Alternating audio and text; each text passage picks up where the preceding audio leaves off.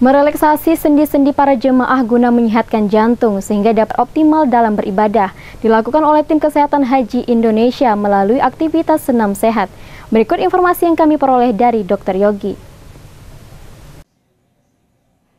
Aktivitas jemaah calon haji kloter 20 dan 21 BTH pada Jumat 2 Agustus pukul 6 pagi waktu Arab Saudi melakukan senam kesehatan haji, senam terah, dan senam jantung sehat.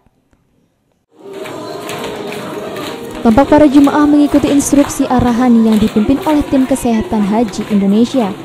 Terdiri dari Dr. Yogi, Herumanisa, Abdul Rahman, Taslimo, dan Angel Aman.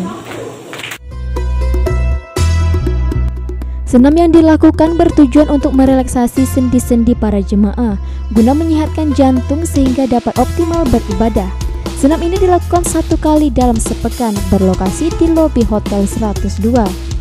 Pada aktivitas senam sehat turut diselingi dengan dakwah kesehatan haji mengenai cara dan pentingnya pengguna opol pelindung diri. Jadi, kalau misalnya kita ke masjid, sendal kita misalnya hilang, ya. diharapkan tetap di masjid ya Bu ya, cari petugas. Jangan langsung berjalan ke hotel tanpa sendal. Sudah ada kasus kakinya yang melepuh. Ya, jadi itulah APD kalau kita keluar maktab, payung atau topi. Jadi boleh pakai payung aja, boleh pakai topi ya Bu ya. ya. Masker, semprotan, kacamata. Nah, sebab alhamdulillah uh, kita sudah melakukan tindakan pemeriksa uh, posko kesehatan di atas.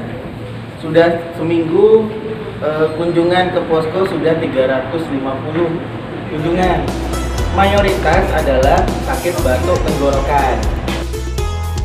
Dr. Yogi melaporkan untuk JTV.